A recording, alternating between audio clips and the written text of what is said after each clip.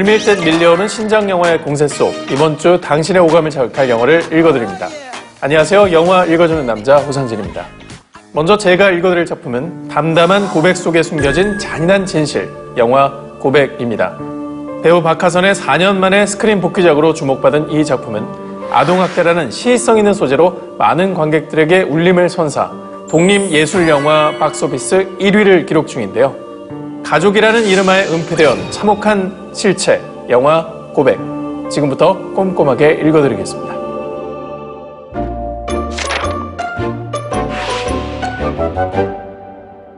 아이를 유괴하고 있다고 주장하는 신원을 알 수 없는 사람으로부터 범죄 성명서가 도착했습니다. 일주일 안에 국민 1인당 1,000원씩 모아서 보내라. 1억이 안 되면 아이를 죽이겠다. 국민 성금을 요구하는 전대미문의 유괴 사건.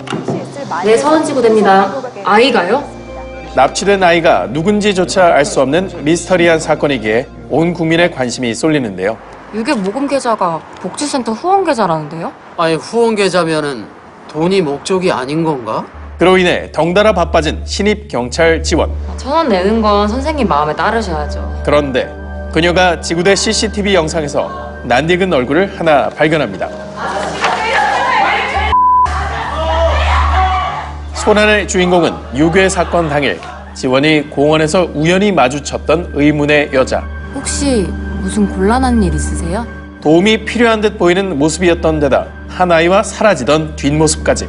지원은 불현듯 그녀가 용의자일지 모른다는 생각이 드는데요. 게다가 한 달 전에 아동학대 허위 신고로 민원 접수건인데요. 애 아빠가 허위 신고로 고소한 애 만에 아주 난리도 아니었어. 그 복지사 말로는 몇 주간 방 안에 가둬서 밥도 안 주고 그랬대는데 뭐 증명할 게 있어야지. 사회복지사라는 그녀의 직업까지 사건과 연결. 의심은 눈덩이처럼 커집니다. 그러던 중 그 김순경이 물어봤던 그 복지사 말이야. 이놈이 손가락 기부수한 거 다 그 여자 때문이야. 잊을 수 없는 사건이었습니다. 일주일 전에 얘랑 나랑 야간조였을 때 싸움 났다고 출동했는데 거기에 그 여자가 있었어. 학대 부모들과 유독 세게 부딪히던 복지사 오순이 보라라는 아이의 아버지와 심한 몸싸움을 벌인 사실까지 알게 된 그녀. 그 여자는 어땠어요? 아주 그냥 고삐가 풀려 있던데. 그 길로 오순을 급히 찾아가 보지만 박우순 씨가 이곳에서 일한 건 맞는데 이제 없어요. 지난주에 그만뒀거든요. 묘연한 그녀의 행방. 그런데 안에서 이상한 냄새가 난다고 하는데 거기 세입자가 타서 초인종도 안 눌러봤대요. 아 나도 괜히 들어갔다가 봉변당할까봐 먼저 신고했죠. 유괴 사건 발생 5일째 오순과 다퉜던 학대 부모 보라의 아버지가 싸늘한 주검으로 발견됩니다. 이름 윤재식, 나이 49세, 딸 윤보라는 10살, 등교 안 한 지 오늘로 5일째입니다. 언뜻 사고사로 보이는 사건. 그러나 보여줘봐. 화장실에서 피를 흘리면서 기어갔어. 그런데 사체가 발견된 곳은 화장실이고 죽은 지 5일 정도야. 현장은 모든 것이 조작돼 있었죠. 너 지난번에 박오순 만난 거 언제였다 그랬지? 5일 전이요. 경찰은 이제 의심의 화살을 복지사 오순에게로 돌리는데요. 근데 아이를 유괴하는 사람이 자전거를 타고 가나? 아버지는 죽고 아이는 사라진 의문점 투성이의 사건. 과연 이 모든 것은 그녀가 치밀하게 꾸민 짓인 걸까요? 대체 그날의 진실은 무엇이었던 걸까요?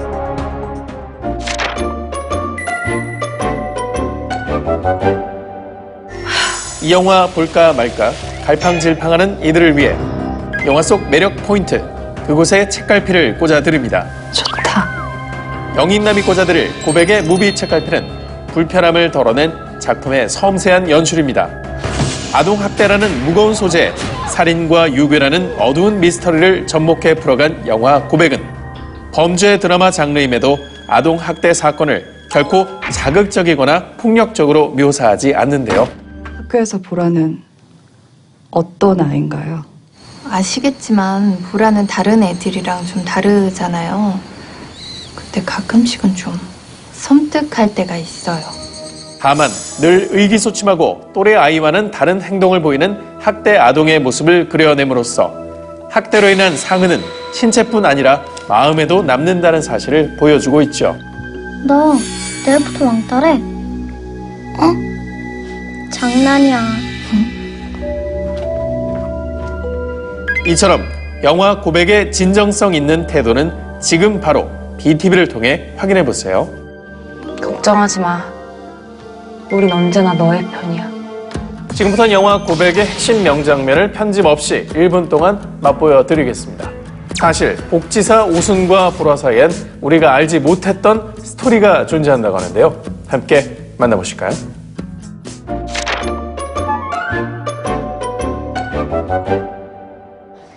보라야, 오순희 선생님이 선물 사왔는데 같이 볼까? 복지사 선생님들의 관심이 별로 달갑지 않은 보라. 선생님이 태워줄까? 이에 오수는 아이와 친해지기 위해 자전거 타기를 제안하는데요. 꽉 잡아. 안 그러면 떨어진다. 마침내 마음의 문을 연 듯한 아이.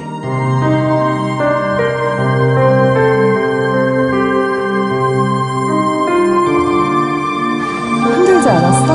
내일도 와요? 보라가 오라고 하면 올게. 그럼 이제 학교 빠지면 안 돼. 알았지? 네. 아, 보라야. 자. 이거 내가 만든 김밥인데 맛이 어떨지 모르겠네. 오늘 체육대회잖아. 어제 보라집에서 가정통신문 봤거든. 내 번호 알지? 도움이 필요하면 언제든지 전화해. 알겠지?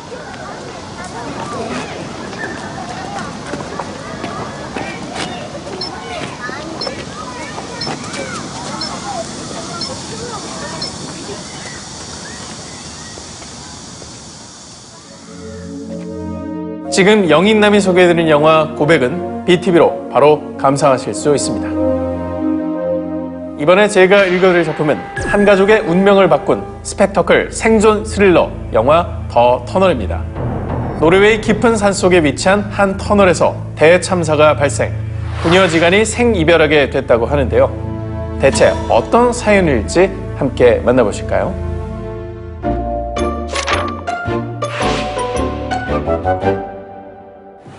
크리스마스 이브날 모처럼 휴가를 받은 소방관 스테이는 딸 앨리서에게 조심스레 연인의 이야기를 꺼내는데요. Um?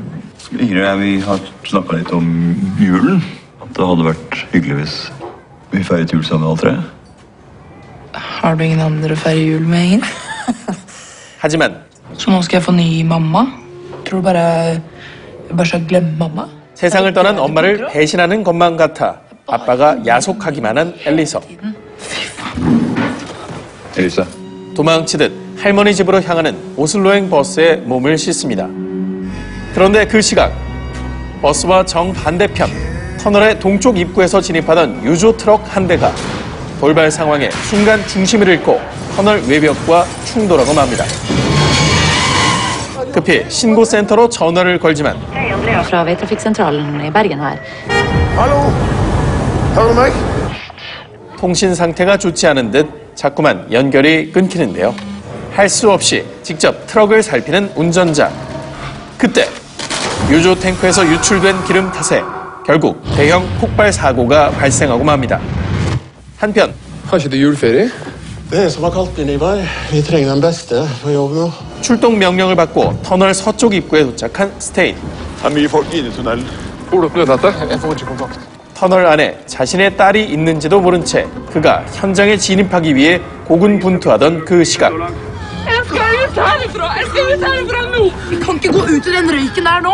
딸 앨리서가 있는 버스 안은 엇갈리는 의견이 난무, 소란스러운데요.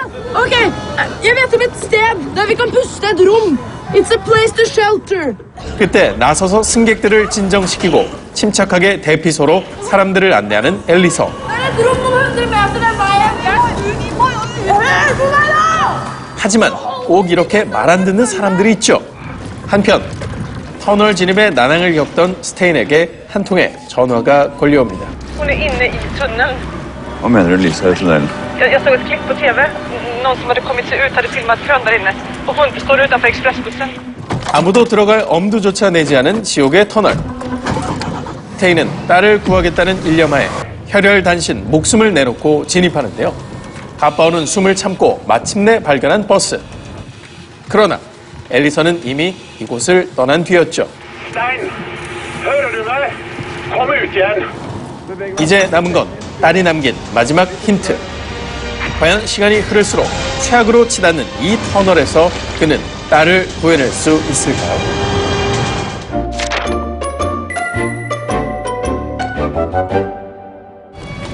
영익남이 발견한 이번 영화의 무비 책갈피는 현실처럼 느껴져 더욱 스릴 있는 영화의 재난 상황 묘사입니다. 사실 이 영화 노르웨이에서 실제 발생한 8번의 터널 폭발 사고를 모티브로 하고 있는데요. 영화 속 터널 안 비상구가 없다는 설정 또한 실제 노르웨이 터널의 문제점을 꼬집은 것. 뿐만 아니라 영화는 폭발 사고 발생 뒤 유독가스로 인해 사람들이 질식하는 광경을 리얼하게 묘사하고 있는데요. 극한 상황에서 부녀가 사람들을 대피시키는 장면은 재난 안전교육 교본이 따로 없을 정도였죠. 이처럼 다큐멘터리 버금가는 부녀의 터널 탈출기가 궁금하시다면 지금 바로 BTV를 통해 확인해 보세요.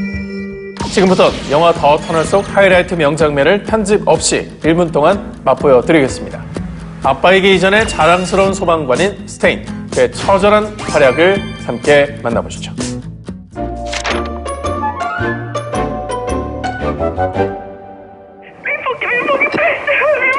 Vi? Eh, vi, Sara? 신고센터로 걸려온 한 통의 전화. 안드레아는 어린아이들을 모른 척할 수 없는데요. Ba de to jentene om å sette seg i nærmeste bil. De, de kan ikke ha gått langt. Vi er helt alene. Har du, har du mulighet til å gjøre et søk? 결국 스테인에게 도움을 요청하는 그녀. 한참을 헤맨 끝에 아이들을 찾아낸 스테인. Hei. Er du Sara? Går det bra? 하지만 그도 이제 한계치에 다다른 상태입니다.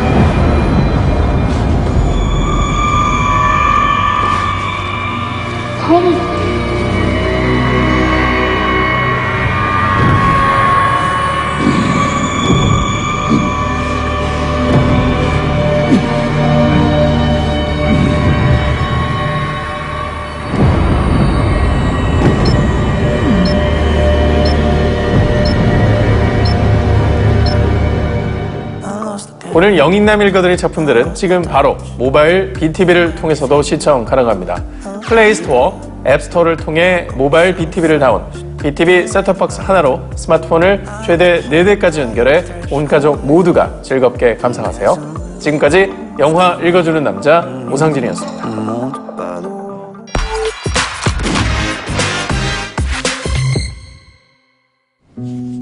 이제 막 20살이 된 보호종료 아동 아영. 월급이 120만 원인데 소득 신고가 안 되어 있네요. 지금 소득 신고하면 수급자 유지할 수 있는 건가요? 소득이 한 80만 원? 그 정도면 수급자 유지하시면서 30만 원 정도 받으실 수 있다고 나오네요.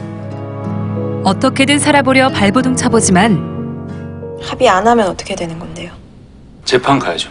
근데 저한테 왜 이러시는 건데요? 아형 씨가 실수를 하셨으니까 책임을 지야죠. 세상은 그녀에게 빨리 어른이 되라고 다그칠 뿐입니다. 너 그냥 여기서 일 안 해볼래? 한편 홀몸으로 술집에서 일하며 갓난쟁이 아들을 키워야 하는 여자 영채.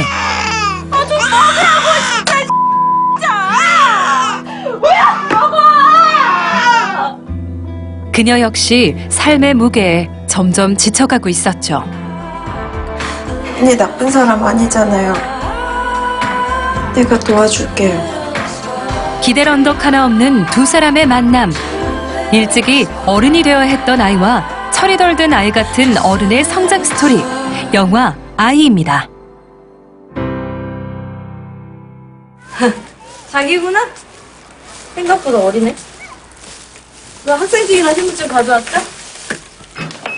수급자 신분을 유지하기 위해 현금 일자리를 알아보던 아영. 그 혁이 저 방에 있으니까 보고 싶으면 본 거야. 친구의 소개로 베이비시터 면접을 보게 되는데요.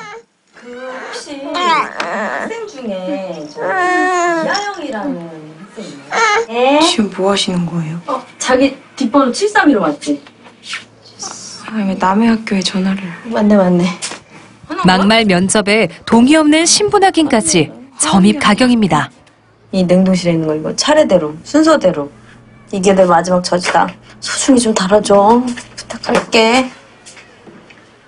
결국 취업에 성공. 과거 보육원에서 어린아이들도 돌봤겠다. 전공도 아동학과겠다. 아영은 야무지게 혁이를 돌보는데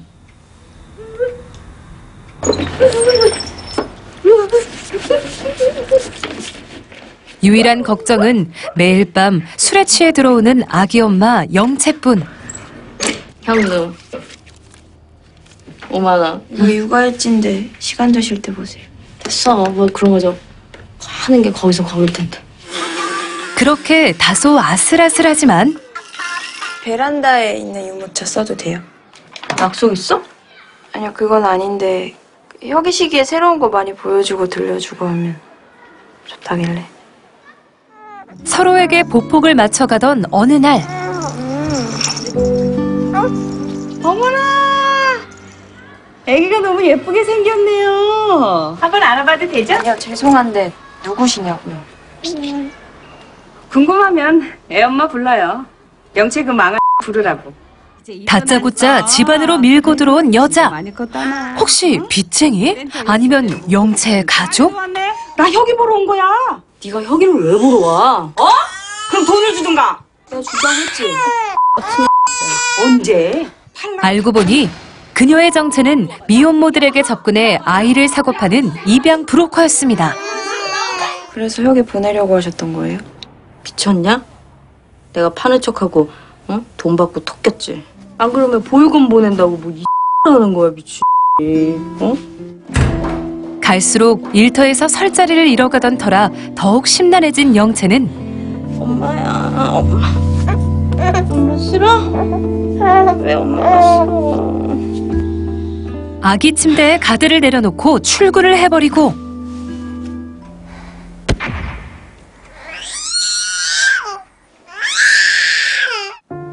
혁이는 그만 크게 다치게 되죠. 이게 두개골 골절인데 경과를 좀 지켜보시죠. 자칫 아이가 잘못될지도 모른다는 생각에 덜컥 겁이 난 영채. 근데요, 언니 저 진짜 아니에요. 네 책임이라고. 그러니까 가라고. 고객님, 잔액이 부족하다고 뜨는데요. 아니 뭐 120만 원이나 나와요. 네? 게다가 지금 형편에 도저히 감당 못할 병원비까지. 어이구 얼굴 좋아졌다. 살만한가 봐. 막다른 곳에 몰린 그녀는 해서는 안 될 결심을 하기에 이르는데요. 언제 내려간대? 거기도 뭐 시간이 필요하다는데 며칠 안 걸려. 어차피 애 크면 엄마 찾아서 올 테니까 그때까지 돈이나 많이 벌어놔. 하루하루 살아내려 애썼지만 매번 새롭게 펼쳐지는 가시밭길에 희망보단 절망을 떠올리기 쉬운 이들. 언니보다도 힘들게 애 키우는 사람들 많아요. 언니만 힘든 척하지 마. 과연 아영과 영채의 고된 자립기는 이대로 좌절되고 마는 걸까요?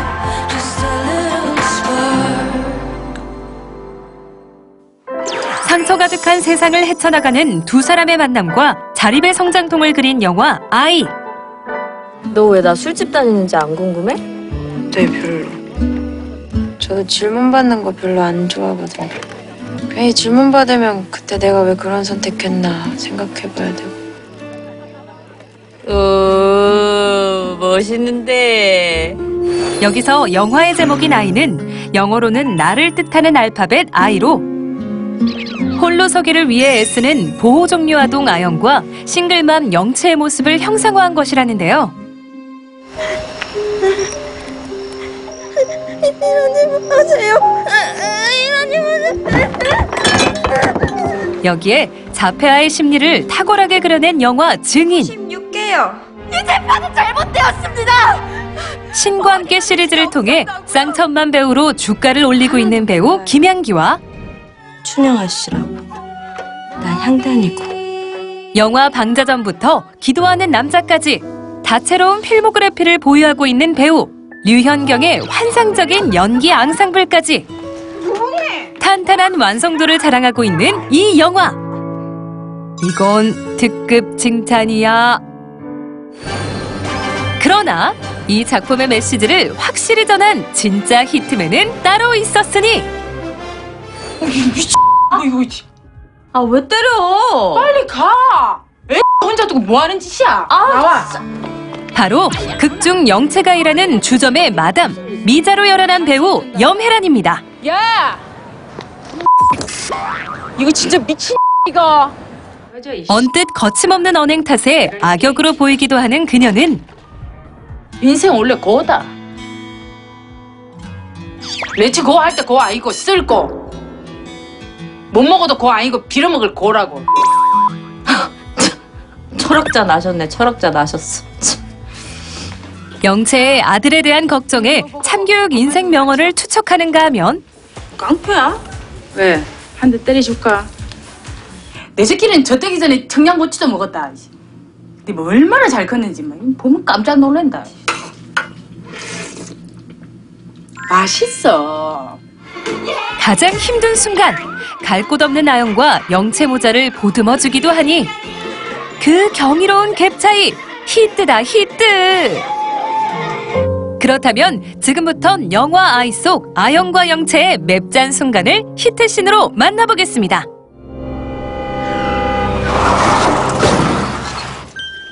영채가 교통사고를 냈다는 소식에 병원을 찾아간 아영 그런데 혁이는요? 없는데. 혁이 없으니까 그냥 가라고. 아영은 영채가 혁이를 브로커에게 넘겼음을 직감합니다. 그러다 파양당하면 어떻게 할 건데요? 언니 파양당하면 어떤지 알아요? 그럼 다시 보육원 가요. 그럼 애들한테 놀림당하고 그거 싫으니까 아등바등. 그게 얼마나 사람 미치게 하는 건지 언니가 아냐고요. 또 뭔데? 어? 네가 혁이 낳았어? 네가 뭔데 혁이를 키우라 마라 난리야. 자신이 낳은 아이를 나 몰라라 하는 영채의 모습에 아영은 폭발하고 맙니다. 어린이집 가고 학교 가서 어 니네 엄마 술집 여자 소리 들으면 뭐가 좋겠냐고. 손가락질 받으면 뭐가 좋겠냐고. 내가 진짜 도와줄게. 네가 여기 버리지만 오늘 히트맨에서 소개해드린 영화 아이는 BTV에서 지금 바로 감상하실 수 있습니다.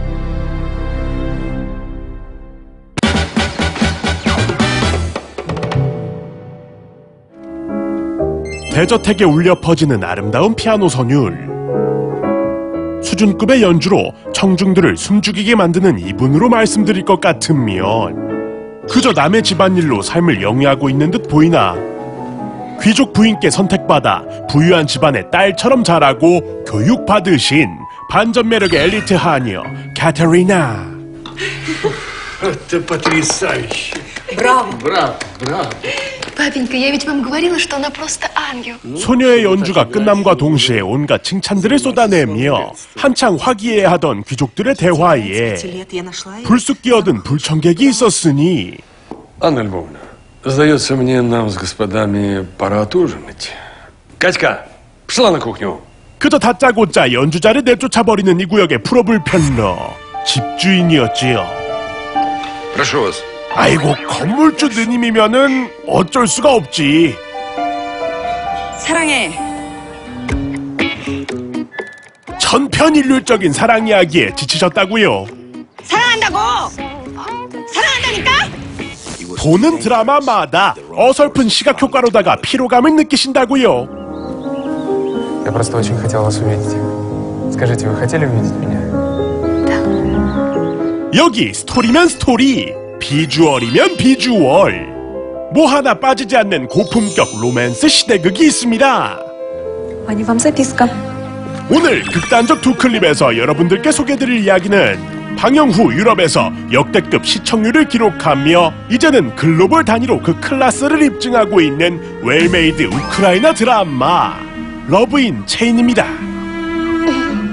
때는 19세기 말 여느 때처럼 따사로운 햇살을 받으며 저택에서의 하루를 시작한 하녀 카테리나 하루 중 소녀의 첫 번째 일과는 이곳 집주인의 부인이자 전쟁에 나간 아들을 그리워하는 안나의 안색 살피기 Крестная, вы как будто мыслями где-то очень далеко.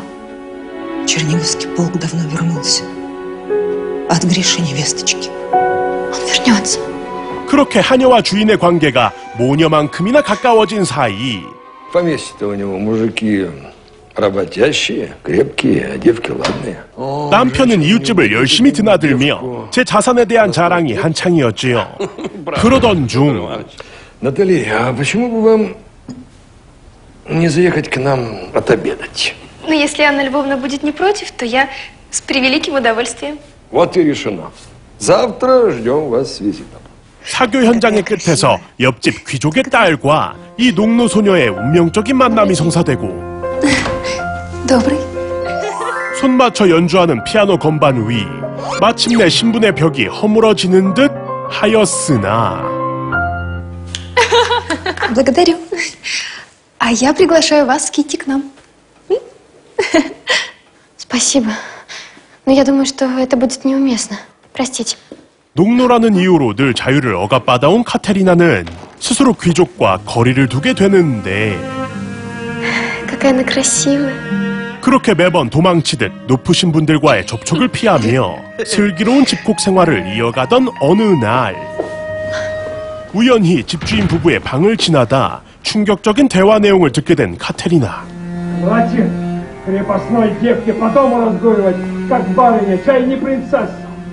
그래, девке по дому разгуливать, как барыня, чай не принцесса. Катька, Катька, крепостная девка. Дочь крепостной. Людской! 그리고 소녀는 왜 자신이 이 집에서 귀족의 자녀처럼 키워진 것인지 난생 처음 큰 혼란을 겪게 되는데 한편 부인께서 그토록 그리워하던 아들 그리고리는 Что вы тут делаете? 금이 환양과 동시에 집안의 낯선 일을 마주하게 되고 바로 멜로렌즈 장착 Я... Батюшки мои, а что вы тут забыли, Григорий Петрович? Богом тебя заклинаю, держись подальше от этого чертяки. 아니나 다를까 그날 밤 남의 방에 노크 따위는 스킵해버리는 이 상남자 Можно? 곧장 카테리나에게 이른바 수작질에 돌입하는데요 Знаешь, Катя, чего больше всего не хватает на войне? Не знаю. Любви. Ты могла бы подарить мне любовь. Григорий Петрович! На тебе. 다행히 선배 하녀의 신이 내린 타이밍으로 숨막히던 상황은 종결 Что? Что ты голосишь-то, как будто весь дом решила на ноги поставить? 과연 귀족 뺨치는 비주얼로 묻 남성들의 연애 세포를 과다 생성시키는 소녀는 또 어떤 시련을 맞이하게 될까요? А тебе какое мое платье больше всех нравится? Обменяешь свое на какое-то из моих. Как это? 우크라이나 방영 당시 동시간대 1위는 물론 역대 최고의 시청률을 기록한 드라마 러브인 체인 Подарок? Какой подарок, папенька? 시즌을 통틀어 사용된 드레스만 무려 200벌 이상 옷 한 벌의 무게가 10kg을 넘을 정도로 화려하다는 드라마 속 의상들은 단지 시대 고증을 하기 위해서일 뿐만 아니라 등장인물의 성격과 그가 처한 상황을 표현해주는 메인 요소라는 사실. 이를테면 농노지만 귀족의 교육을 받고 자란 주인공 카테리나는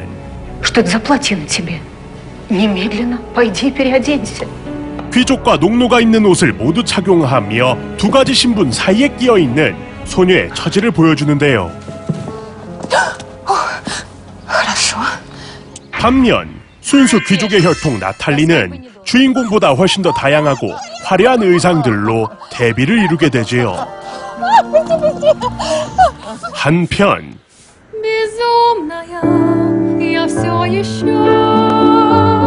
이후 카테리나는 나탈리에게 노래 연습용 반주를 부탁받게 되는데. 카타리나가 참으로 마음에 들었더니 귀족 소원이요 후의 상징인 연회용 드레스까지 과감히 공유하사 조금씩 그들 사이 우정이 싹트게 되시는 겁니다. 그러던 중 마을 한편에서는 전쟁에서 살아 돌아온 또 다른 영웅이 있었으니. 옆집 누구와는 달리 인자한 미소로 하인들의 환영을 받는 그는 아니나 다를까 다른 또래 여성들에게도 남편감 원픽인 19세기 아이돌. 한편 가는 날이 장날이라고 했던가 외출이 길어진 카테리나에겐 통곡의 퇴근길이 펼쳐져 있었는데 폭풍우를 뚫고 달리던 소녀의 마차는 순간 갑작스러운 위기에 직면 그때 주인공 앞 백마탄 왕자님 등장이요 안녕하세요 내 이름은 알렉세이 BTV Вы совсем промок. Идете со мной. 이야, 그만큼 사랑에 빠지셨다는 거지. 누가 봐도 서로에게 반해버린 두 남녀. 자, 이들을 둘러싼 귀족 가문들의 시기와 질투 어린 이야기가 더 궁금하시다면 지금 바로 리모컨의 빨간 버튼 딱 눌러서 복잡 미묘해진 감정 사이 얽히고 설킨 사랑 쟁탈전을 오션에서 직접 감상해 보시지요. Благодарю вас. Без вас я бы совсем промокла и пропала. 과연 우연히 만나 사랑에 빠져버린 이 자만추 회원들은 신분의 격차를 극복하고 로맨스의 결실을 맺을 수 있을까요?